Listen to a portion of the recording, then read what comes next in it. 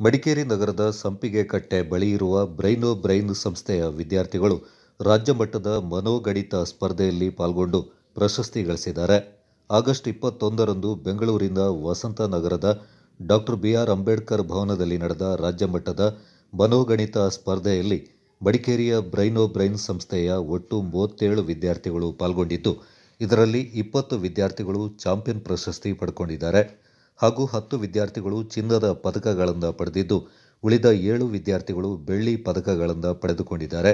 ಈ ಹಿಂದೆಯೂ ರಾಷ್ಟ್ರ ಮತ್ತು ರಾಜ್ಯ ಮಟ್ಟದ ಸ್ಪರ್ಧೆಗಳಲ್ಲಿ ಸಂಸ್ಥೆಯ ವಿದ್ಯಾರ್ಥಿಗಳು ಪಾಲ್ಗೊಂಡು ಹಲವಾರು ಪ್ರಶಸ್ತಿಗಳನ್ನು ಪಡೆದಿದ್ದಾರೆ. ಆದರೆ ಕೋವಿಡ್ನಿಂದಾಗಿ ಕಳೆದ ಎರಡು ವರ್ಷಗಳಿಂದ ಯಾವುದೇ ಸ್ಪರ್ಧೆಗಳು ನಡೆದಿರಲಿಲ್ಲ.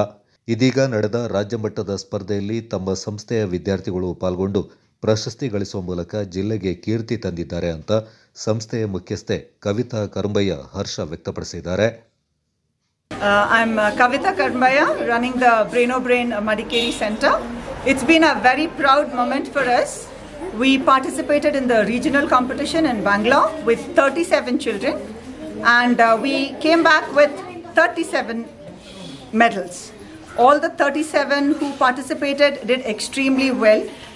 It was said that we have outstanding performance. So I give the credit to the parents and the children. You can give them a big round of applause to the children and the parents.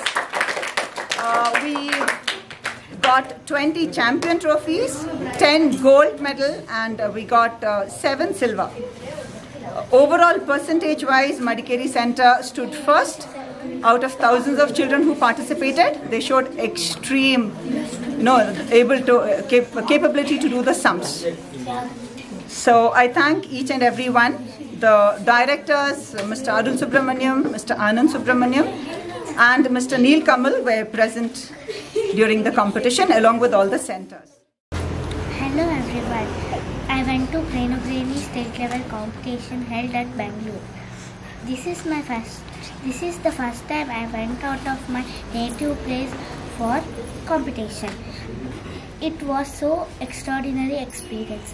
I was so ex- excited and eager to see all the children and teachers there. I am, I am very happy that I won gold medal. Last time it was online competition was not so excited. This time I enjoyed very much and this is a good experience. ನನ್ನ ಮಗಳು brain ಬ್ರೈನಿಗೆ fifth ಲೆವೆಲಲ್ಲಿದ್ದಾಳೆ ಅವಳದು ಮ್ಯಾಥ್ಸ್ದು skill ಹೆಂಗೆ ಇದೆ ಅಂದರೆ ಏನೇ ಒಂದು sums ಕೇಳಿದ್ರು ತಕ್ಷಣ ಅವಳು ಆನ್ಸರ್ ಮಾಡೋಷ್ಟು ಇಂಪ್ರೂವ್ ಆಗಿದ್ದಾಳೆ.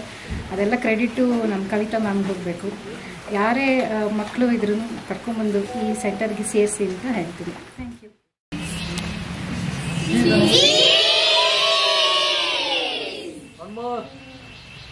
Shri.